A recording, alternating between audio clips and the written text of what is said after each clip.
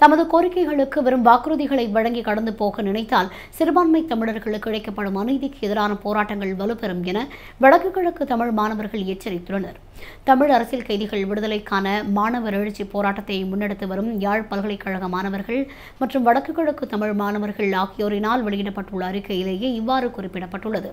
நீதிக்கு புறம்பாக சிறை வைக்கப்பட்டிருக்கும் தமிழ் அரசியல் கைதிகளின் விடயமானது ஐநா சபையின் அரசியல் கைதிகளின் சட்ட நடைமுறைக்கு முற்றிலும் முரணானது எனவும் ஆகவே இலங்கையின் எல்லா சிறைகளிலும் உள்ள அரசியல் கைதிகளை எதுவித நிபந்தனையுமின்றி உடனடியாக விடுதலை செய்து அவர்களது இயல்பு வாழ்க்கைக்கு வழிகோல வேண்டும் என கோரிக்கை விடுத்துள்ளார்.